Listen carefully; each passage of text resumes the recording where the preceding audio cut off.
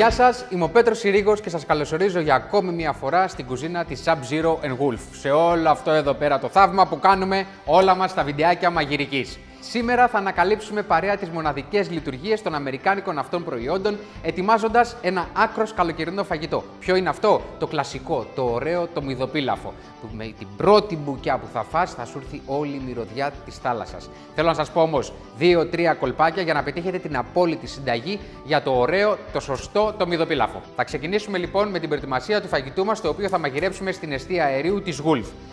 Ανοίγουμε λοιπόν την αιστεία μας, Κόβουμε το κρεμμύδι, θα χρησιμοποιήσουμε κρεμμύδι ξερό, κρεμμύδι φρέσκο, φινόκιο, που το φινόκιο για μένα έχει πολύ ωραία γεύση και άρωμα σαν το ούζο, οπότε γι' αυτό το βάζω μέσα, επειδή το φαγητό μας θα το σβήσουμε και με ούζο. Ψιλοκόβουμε το κρεμμύδι.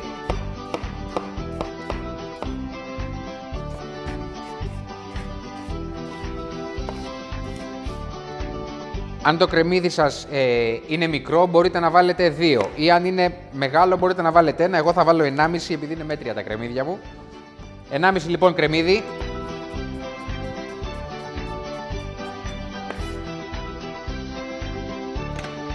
Θα προσθέσουμε λίγο ελαιόλαδο στην κατσαρόλα μας. Βάζουμε το ψιλοκομμένο κρεμμύδι. Θα ψιλοκόψουμε και το σκόρδο μας. Τώρα εγώ βάζω τρεις μικρές κελίδες. Αν έχετε δύο μεγάλες, βάλτε δύο. Απλά το θέλει το σκορδάκι του αυτό το φαγητό. Βάζοντας λίγο σκόρδο, δίνει πολύ ωραία ένταση και γεύση στο μύδι. Βάζοντας το σκόρδο θα το δυναμώσει την ένταση. Το κάνουμε εδώ πέρα στην άκρη. Συνεχίζουμε, παίρνουμε το φινόκιο. Αυτά εδώ θα τα κρατήσω να βάλω λίγο μετά στο τελείωμα. Και κόβουμε το φινόκιο με αυτόν τον τρόπο. Κόβουμε φετούλες. Έτσι, Συνεχίζουμε.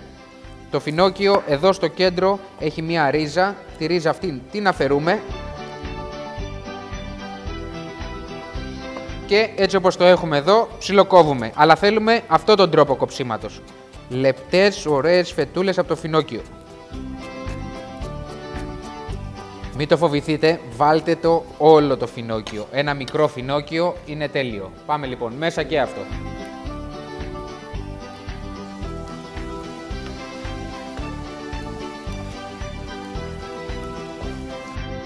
Προσθέσουμε και λίγο κρεμμυδάκι φρέσκο. Αν είναι μεγάλα τα κρεμμυδάκια σας, βάλτε δύο. Αλλιώς αν είναι μικρότερα μπορείτε να βάλετε τρία. Τα κόβουμε με αυτόν τον τρόπο.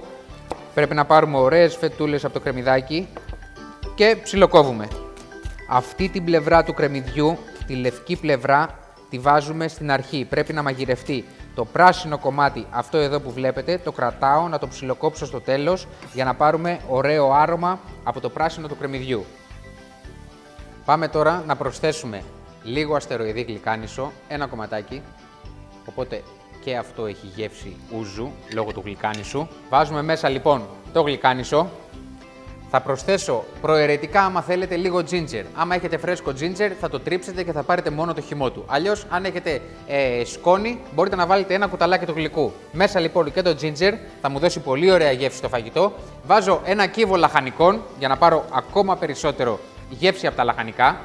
Ανακατεύουμε και τώρα που έχουν μαλακώσει τα λαχανικά μας, το κρεμμύδι, το φινόκιο, το κρεμμυδάκι το φρέσκο, ήδη έχουν ξεκινήσει τα αρώματα από το γλυκάνισο. Τώρα θα προσθέσουμε τα μύδια. Μύδια, μεγάλο κεφάλαιο. Θέλει μεγάλη προσοχή όταν θα μαγειρέψετε τα μύδια σας. Γιατί, Γιατί καθαρίζουμε πάρα πολύ καλά, έχει εδώ πέρα το μουστάκι από το μύδι που ξέρουμε και τρίβουμε πάρα πολύ καλά απ' έξω με ένα σειρματάκι, αυτό που χρησιμοποιούμε στην κουζίνα. Μετά, όποιο μύδι δείτε όταν το μαγειρέψετε ότι είναι κλειστό, γνωρίζετε πάρα πολύ καλά ότι πρέπει να πεταχτεί. Όλα τα μύδια πρέπει να ανοίξουν όταν έρθουν σε επαφή με θερμοκρασία. Βάζουμε λοιπόν τα μύδια μέσα.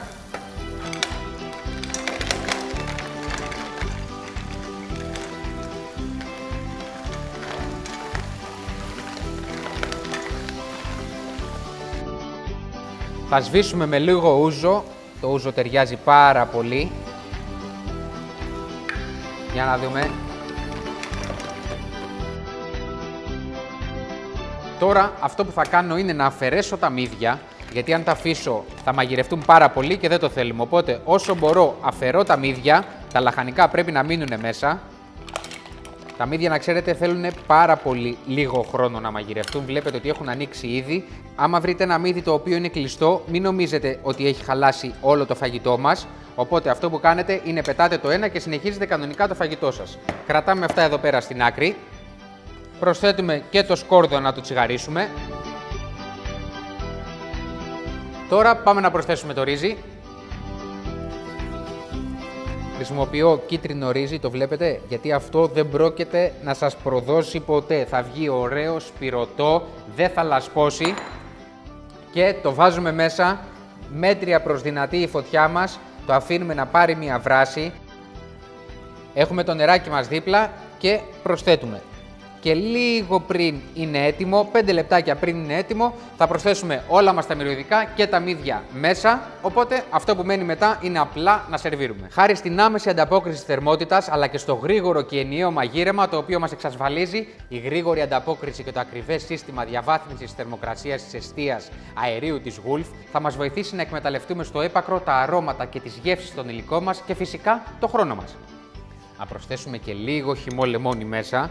Καλό είναι να βάλετε στην αρχή λίγο, να μαγειρευτεί δηλαδή με το φαγητό και στο τέλος να προσθέσετε, να δείτε πόση ένταση έχει το λεμόνι και αναλόγως άμα το θέλετε πολύ όξινο να προσθέσετε περισσότερο, αλλιώς μείνετε σε αυτή την ποσότητα που έχετε βάλει στην αρχή.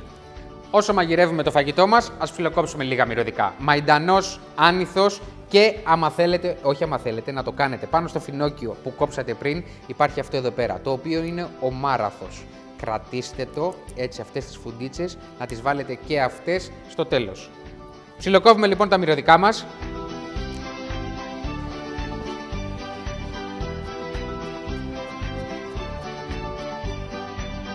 Και επειδή φτάνουμε προς το τέλος, τώρα θα ρίξουμε τα μύδια μέσα.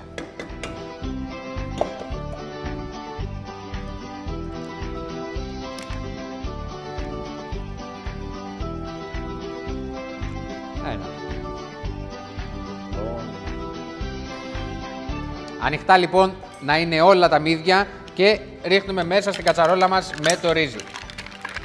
Θα κρατήσω λίγα εδώ στο πλάι, όχι για να τα φάω, απλά για να φτιάξω μια ωραία πιατέλα μετά, για να τη σερβίρουμε τέλεια. Βάζουμε λοιπόν τα μύδια μας, ανακατεύουμε. Θα προσθέσουμε λίγο αλάτι και λίγο πιπέρι. Αλατάκι δεν θέλουμε πολύ γιατί τα μύδια βγάζουν το αλάτι της θάλασσας. Λίγο αλατάκι λοιπόν Πιπεράκι αναλόγως όσο θέλετε εσείς. Το τραβάει το πιπέρι. Τέλεια. Θα προσθέσουμε λίγο μαϊντανό για να μαγειρευτεί τώρα μέσα στο φαγητό και θα προσθέσουμε και λίγο στο τέλος. Λίγο άνηθο και θα βάλω, θυμάστε που κρατήσαμε το πράσινο μέρος από το κρεμμύδι; Για να ψιλοκόψουμε λίγο εδώ. Ωραία και ανακατεύουμε. Μακάρι να μπορούσατε να το μυρίσετε τώρα. Δείτε εδώ πώς είναι. Τα μυρωδικά του, αχνιστό, ωραίο. Τώρα θα πιει και τα υγρά. Θα βγάλουν και υγρά τα μύδια. Δείτε εδώ. Αν θέλετε τώρα εσείς σε αυτό το σημείο μπορείτε να προσθέσετε και λίγο τριμμένη ντομάτα έτσι για να βγει πιο ωραίο, πιο μαμαδίστικο. Ό,τι θέλετε εσείς. Εγώ θα το αφήσω λευκό. Προσθέτετε λοιπόν σε αυτό το σημείο άμα θέλετε λίγη τριμμένη ντομάτα Πάω να φέρω καπάκι, να το σκεπάσω, να χνίσουν, να ανοίξουν κι άλλο τα μύδια, να γίνει ωραίο αφράτο το ρύζι μας. Σκεπάζω λοιπόν και επιστρέφω.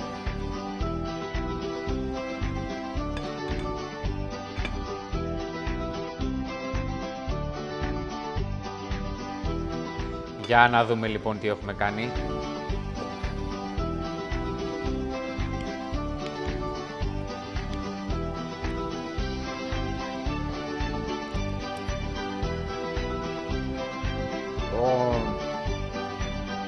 Είναι special. Αλάτι δεν θέλει καθόλου. Θα βάλω μόνο λίγο πιπέρι.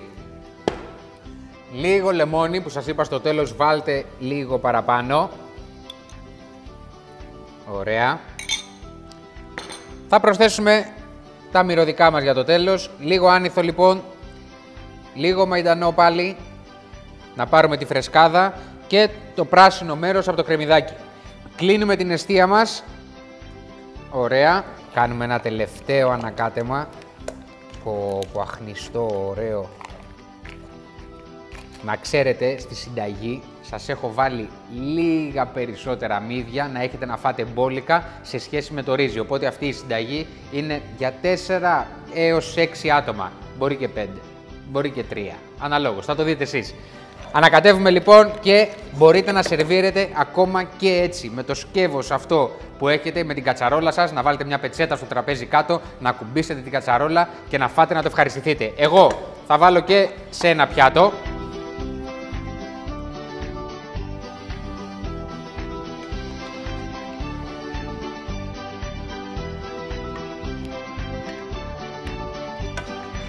Μ' αρέσει το μυδοπίλαφο να είναι με αυτό το ρύζι, με το κίτρινο ρύζι. Αν θέλετε εσείς να βάλετε ένα άλλο ρύζι το οποίο μπορεί να είναι ή καρολίνα ή αρμπόριο, θα βγει πιο λασπωμένο, δηλαδή εννοώ θα βγει σαν ριζότο. Αλλιώς, αν σας αρέσει και εσάς έτσι με αυτόν τον τρόπο, να χρησιμοποιήσετε αυτό το ρύζι.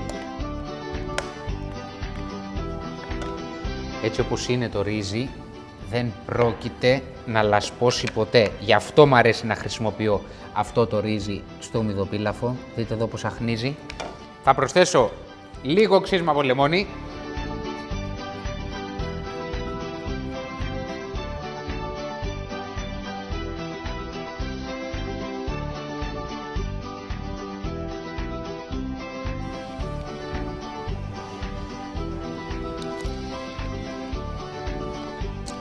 Άκρος καλοκαιρινό. Μακάρι να ήμουν τώρα, να έπινα και το ουζάκι μου, να ήμουν σε μια παραλία.